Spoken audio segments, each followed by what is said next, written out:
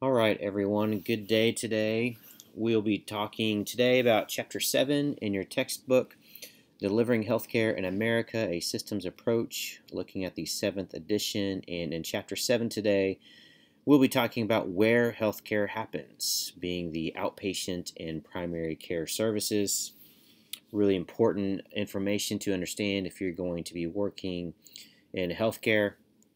As a reminder, this supplementary lecture is to support your textbook reading, which should always be primary in order to support your writings and discussion uh, in future PowerPoint assignments. And also, I will say that this lecture should help you to brainstorm and generate ideas and responses for your writing as well. And so, that being said, let us move on. I'll say that this is a longer chapter. There are 34 slides here, so there will be some areas where I go into detail, maybe even speak uh, to current information on it, but there'll be some areas where you'll definitely need to dig down deeper um, to build your own understanding. And so let's talk about our learning objectives. Um, obviously, we want to understand the difference between outpatient, ambulatory, and primary care. We want to understand some of the principles behind patient-centered medical homes and community-based primary care. We'll talk a little bit about the reasons for the dramatic growth in outpatient services, which should be obvious if you look at today's demographics. We'll talk about the various types of outpatient settings and services that can be offered. We'll talk about the role of complementary and alternative medicine and why those are utilized by patients. We'll compare and contrast to the primary care delivery in other countries, and we'll talk about the goal of the ACA, the Affordable Care Act, on primary care and what specifically was accomplished and maybe what wasn't accomplished yet. And so let's kind of get going in terms of introduction. Point of clarification the terms outpatient and ambulatory, those are often used interchangeably, so please always keep that in mind for future discussions. Also know that hospitals historically have provided the majority of outpatient care for patients, and this is because independent providers are really going to be constrained in their ability to do so, basically due to capital restraints or constraints. Um, and then, of course, as the current population ages and gets older and older, we see that consumer demand can fuel the growth for not just medicine, but also complementary and alternative medicine as well. And then, of course, the goal of the ACA was to address access for the poor and the vulnerable, and they were successful in some areas and not successful in others, which isn't surprising. That usually happens with healthcare legislation in general. And so, what is outpatient care? Well, these are outpatient services, or as we said earlier, ambulatory care. And so ambulatory care is the diagnostic and therapeutic services for what they call the walking patient. This is used uh, synony synonymously with community medicine. And then outpatient services are services that are not provided with an overnight stay, right? The reimbursement system for inpatient versus outpatient stays is going to be very different, and so the services provided will also vary as well. And so, what is the scope of outpatient services? Well, primary care is the foundation, right, for ambulatory health services. If the patient needs or wants any other services other than primary care, that is going to be an integral part of outpatient services. And of course, technology always allows for treatments to be be provided in ambulatory settings as well. Make sure you look at Table 7.1 in the textbook, which talks about the different owners and providers and settings for ambulatory care. All right, so primary care. This plays probably the biggest role, and according to the textbook, the central role in the healthcare delivery system. This is very different from your secondary and tertiary uh, delivery systems do well in duration, in frequency, and in intensity.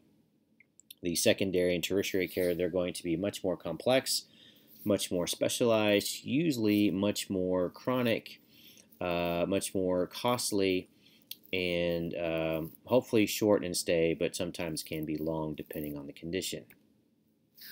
Secondary care, like we said, is usually shorter term, um, sporadic in nature, can often include either hospitalization or surgery, require some type of specialty consultation, sometimes by multiple specialists working um, as a team, and often requires rehabilitation before the patient can go back to receiving mainly primary care services. Now, tertiary care, this is a smaller percentage of patients, and this is the most complex level of care. This is usually for very uncommon conditions, or I would argue repeatedly chronic conditions, what healthcare providers may call frequent flyers. This will be institutional based, so think of like a long term care facility within a hospital. Um, very specialized, very driven by technology. In fact, there'll be very few patients in these areas where there's probably just as much machines and equipment as there are patients, and often rendered in very large teaching hospitals, obviously, due to the opportunity for physicians and other healthcare providers to learn these more rare conditions. So, what's the frequency of these healthcare services amongst these three settings? Well, for primary care, it's about 75 to 85% of the population requiring only primary services about 10 to 12% will require secondary care, and about 5 to 10% being tertiary care. And so, um, as normal, we always talk about the World Health Organization definitions and understandings um, because as technology grows, globalism becomes more and more important. And so, it's always important to take the WHO definition into consideration. And so, when they look at primary care, they talk about three different elements, one being the point of entry, two, the coordination, and three, what they call essential care. And then we have the definition of primary care according to the Institute of Medicine. And so this definition includes um, the comprehensive addressing of any healthcare problems really over any stage of a patient's life, the coordination of services, uh, to meet the patient's needs, continuity of care over time, and also having not just accessibility for the patient, but also accountability on those who are providing healthcare as well. Looking at primary care and the ACA, there are four primary care provisions that came with the ACA. And we talked a little bit about this in previous chapters, but one being increased Medicare and Medicaid pay payments, though not all states took part in that, Texas being one who did not. There were new incentives for primary care workers working in underserved areas. Again, this worked in some areas, but not in others. And in some areas where it did work, it actually increased cost.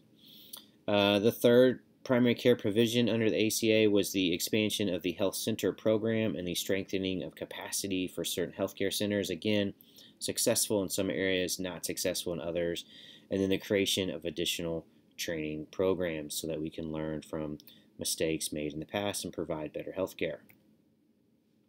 And so, what are the new directions in primary care? One of them is what they call patient centered medical homes. And so, this is more of a team oriented approach to provide uh, special needs children who require constant care coordination it consists of a multi or interdisciplinary team of physicians and other allied health professionals to manage and uh, work for the patient. And uh, early studies are demonstrating that there is a positive impact. Um, of course, the question is always what are the costs associated and are they manageable long term? And I think that still uh, is yet to be determined. And of course, there's various uh, assessment tools that are used in this new setting. Continuing um, our conversation in new directions for primary care, we can talk about and look at community-oriented primary care. And so some of the things that are being focused on here are reducing exclusion and social disparities, trying to organize the health services around people's needs. And I, I would say here probably being proactive as opposed to reactive, looking at integrating health into all sectors, looking at collaborative models, not just in terms of healthcare, but having dialogue around policy and increasing stakeholder participation, being the patient or the caregivers for those patients if they are unable to advocate for themselves. So let's talk about primary care providers. As we looked earlier, this is going to be the largest area where medicine happens. And so, um, U.S. primary care is not restricted just to physicians. Remember, we talked a couple chapters ago about the different uh, non physician practitioners, such as nurse practitioners, physician assistants, and what they call certified nurse midwives. And also remember that primary care also includes internal medicine, which is basically primary care for people roughly over the age of 40 to 45, pediatrics, and OB-GYN. Now, there is a growth in outpatient services, and of course, we can see organizations and companies aligning with this. This is due for five reasons reimbursement, technology, utilization control factors, such as the ones we spoke about in earlier chapters, physician practice factors, um, and social factors.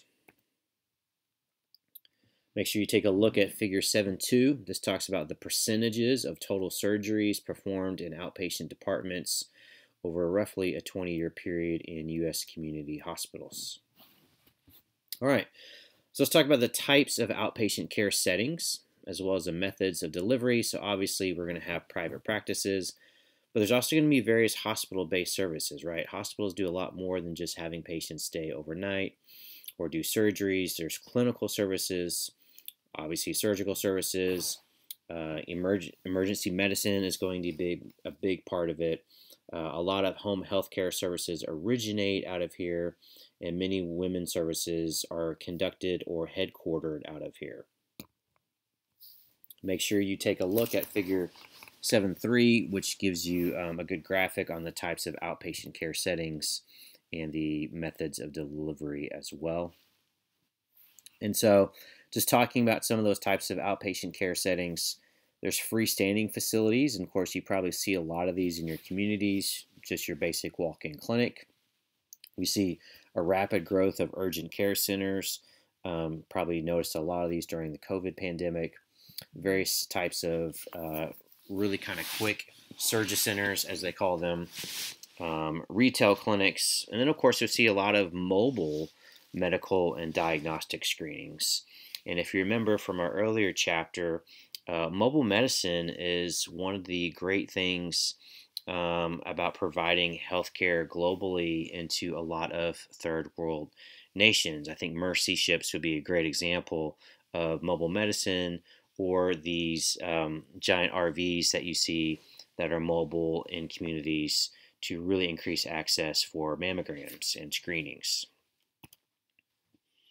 All right, continuing our conversation of outpatient care settings and methods of delivery, we have home health care services and then hospice services. And so, hospice is going to be a comprehensive service for the terminally ill or those with a very short life expectancy of six months or less.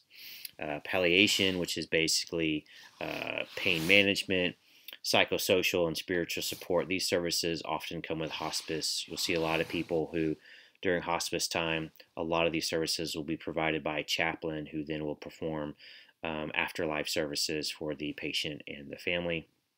And of course, there are specific conditions for this in order to be certified by Medicare for reimbursement.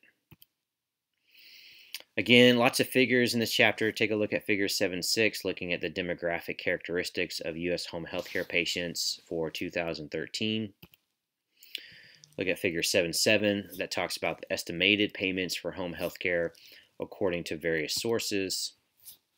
And then look at figure 7.4 that will talk about home health care and hospice care patients served um, by agency type and number of patients. This data is around 2007.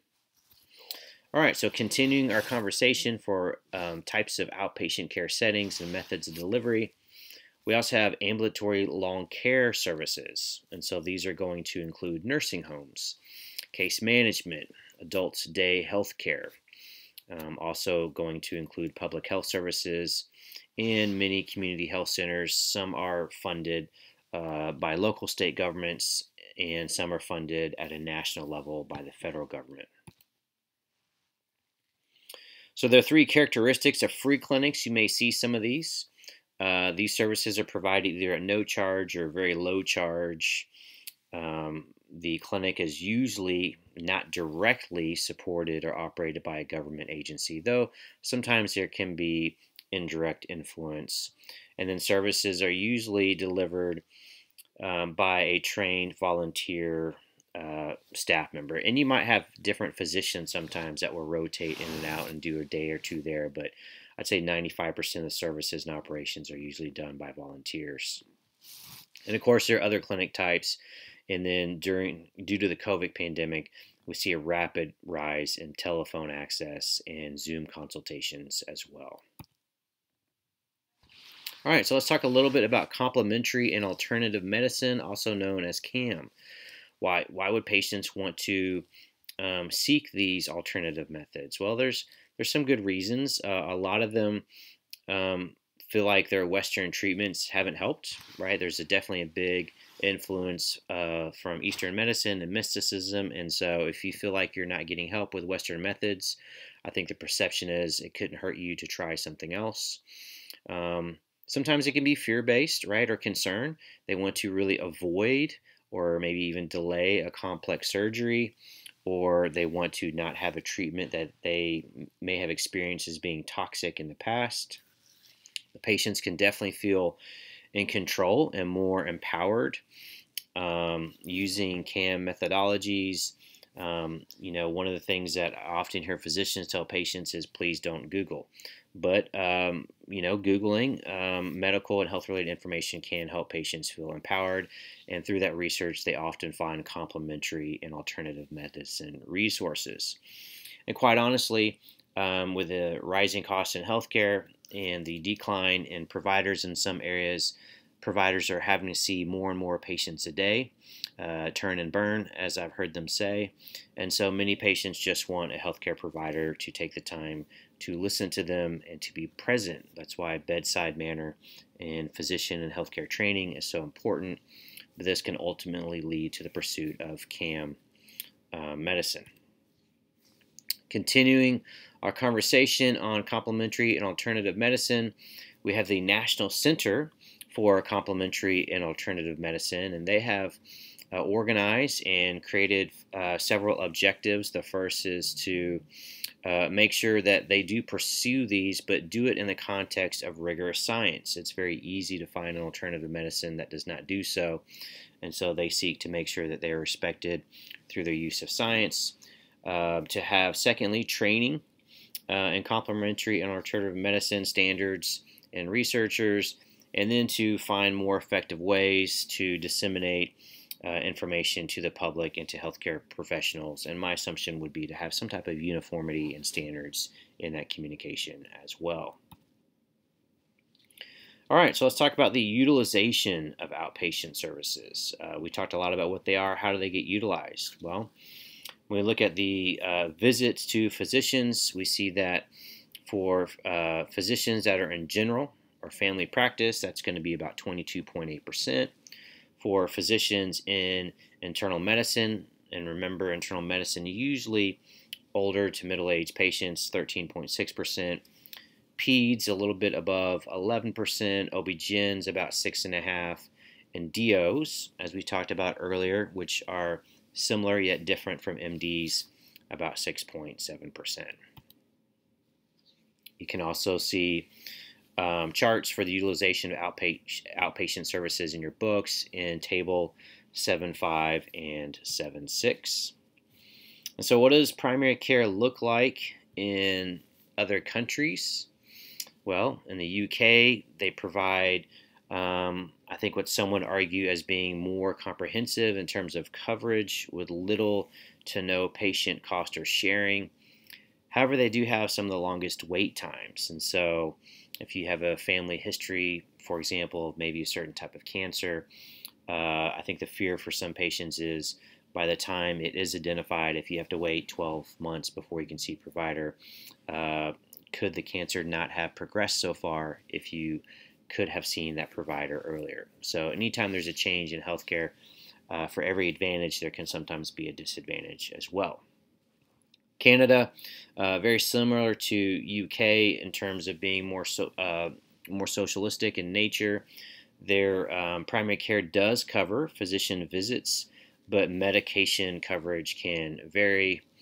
And then, um, as we've talked about in earlier chapters, Australia, New Zealand, Germany are also examples similar to the UK and Canada, but not quite because there's a uh, more and varying degree of cost sharing for the patients. And so we talked about this in previous chapters, having uh, co-pays or co-insurance.